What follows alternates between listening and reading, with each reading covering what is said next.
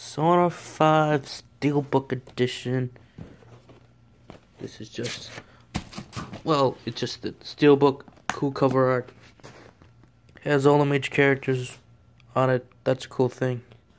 But the thing that pisses me uh, uh, freaking off about this whole thing with Atlus,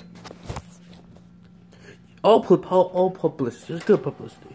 You share the videos, like for any other gaming company out there, they get they get more sales that way because people were like, hmm, I'm a bit skeptical about this.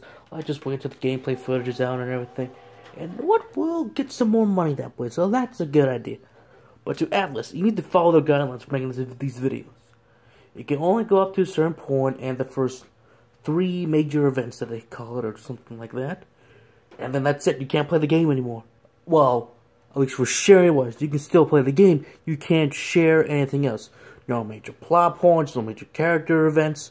It's just ridiculous. And my and that's really my thoughts on it. This is ridiculous. Atlus, what are you guys thinking? Why these guidelines? Why these rules? Heck, even if you try to play this Persona 5 on PS4 and just want to share that way, guess what? They have blocked it. You, you can't do it. You can do it on Steam and on YouTube still. But they warn everyone if you do this, they'll give you either a notification or worse, a strike. And guess what?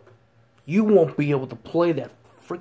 You won't be able to post content anymore. You can file DMCA and say I found the guidelines or just try to defend yourself. But that, my friends, is ridiculous. That is ridiculous. That is unbelievable. What? What? Atlus. Come on, Atlus. You made my favorite game of all time, Carrie, and I freaking no, no, Catherine, and I love Catherine. It was amazing. But, but, but why all of a sudden, like, yeah, no, no one can share this and do it. But here's the thing, Atlus. People have found a way around this. Have they got strikes notifications? Possibly, yes. And they have defended themselves, yes. But thing is, Atlus, I'm sorry, man. You done fucked it up. At the end of this year, that you're going to be in my top five controversies of 2017 for the video game industry. Sorry, Atlus. Sorry, man. You had your chance. You had the chance to say, know what, we're just going to share this whole thing. You guys can go right ahead. Sorry, Atlus. You guys are motherfuckers. But at least you made an amazing game. I haven't played yet, but everyone else said it's great, so yeah.